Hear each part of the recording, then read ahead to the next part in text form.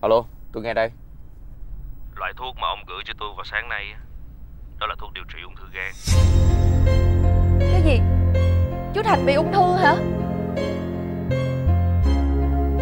Sao lại như vậy được chứ?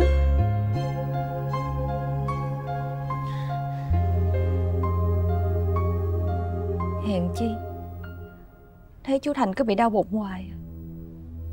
Hỏi chú thì chú nói chú bị đau bao tử Cái ông này. Sao mà khờ dữ vậy? Có bệnh thì cũng phải nói ra. Để mọi người biết, người ta tìm cách điều trị. Sao mà cứ giữ khư khư ở trong bụng? Ôm đau đớn trong lòng như vậy. Sao mà ngu dữ vậy? Hả Khờ quá đi Thành ơi.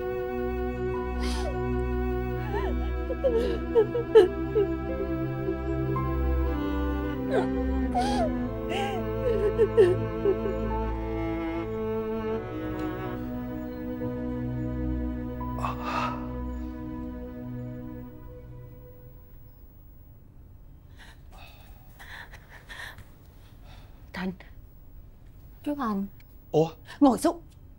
Có chuyện gì vậy? Tôi nói là ngồi xuống. Ủa Sao ờ, Mấy mẹ con mắt đỏ que vậy? Bộ ờ, ở nhà có chuyện hả? Không lẽ ờ, Bà Đào Hay là nhà thằng Bách qua gây sự nữa hả? Tôi xin lỗi Thành. Mẹ con tôi biết hết chuyện Thành bị bệnh rồi. Chú Thành Con xin lỗi chú. Ủa Sao lại xin lỗi chú? Dạ. Hải đã lén lấy thuốc của chú đi làm xét nghiệm. Thì ra chú bị ung thư gan. Sao chú giấu mọi người vậy chú? Tụi con xin lỗi chú Thành nhiều lắm.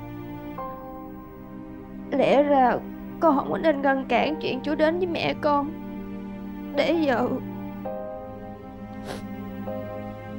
Chú Thành đã từ lâu lắm rồi. Chị em con coi chú như cha với tụi con vậy.